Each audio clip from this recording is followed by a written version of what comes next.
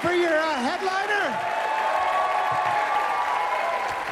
I am too. This is obviously the person we all came to see. You know him, you love him. Town Hall, give a big welcome to John Mulaney!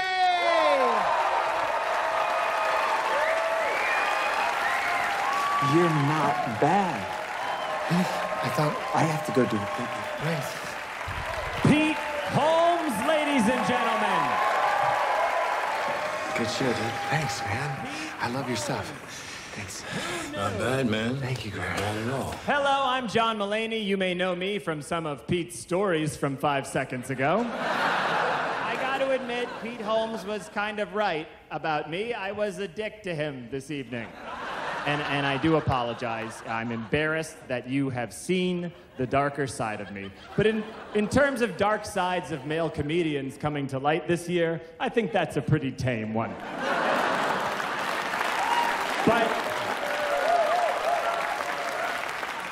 I, I want to be a good, nice person. I was raised Catholic. I was raised to be kind to everyone. You know, Catholicism is all about kindness until you go digging into it, and then it's not at all.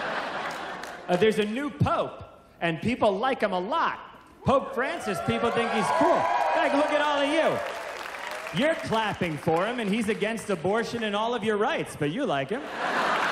The Pope is popular because he acts like a sophomore in college who just took mushrooms for the first time.